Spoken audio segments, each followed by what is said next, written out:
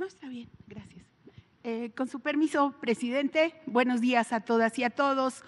Hoy vamos a dar el informe sobre eh, los avances en materia de seguridad, específicamente sobre los datos en la incidencia delictiva de hasta el mes de junio y lo que corresponde al primer semestre de este año 2024. Eh, en relación con los delitos del fuero federal, tenemos una reducción de 24.5%. Adelante. En la mayoría de los delitos del fuero federal hay importantes reducciones. Adelante. En cuanto al homicidio doloso, em, seguimos intensificando las acciones con los gobiernos estatales y municipales y se tiene una reducción de 18%. Adelante.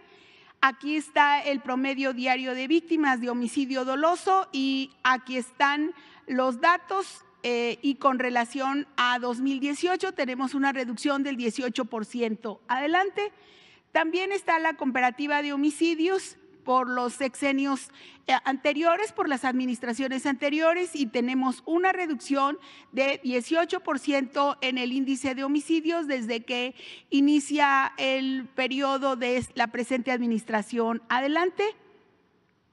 Eh, seis entidades concentran el 44.5% de los homicidios dolosos del país en este primer semestre y ahora los vamos a dar uno por uno. Adelante, en relación con Guanajuato, el último mes fueron 37 homicidios más que en mayo de este año.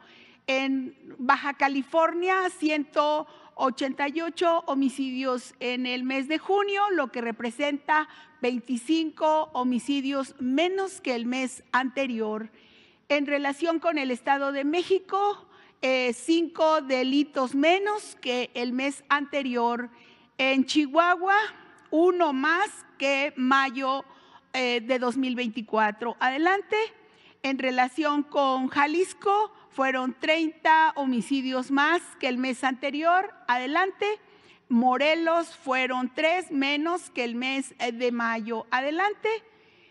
Eh, los resultados de los homicidios dolosos en los 50 municipios prioritarios es una disminución del 15.3%. Adelante. En la mayoría de los delitos del fuero común, en, coordinación siempre con las mesas eh, estatales y regionales, se tiene una disminución en la mayoría de los delitos de este primer semestre de 2024. Seguimos fortaleciendo la coordinación con las autoridades